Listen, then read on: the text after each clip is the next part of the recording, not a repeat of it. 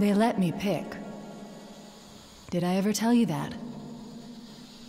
Choose whichever Spartan I wanted. You know me.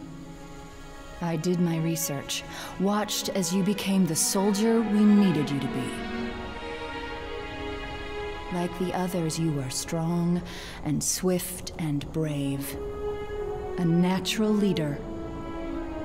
But you had something they didn't. Something no one saw but me.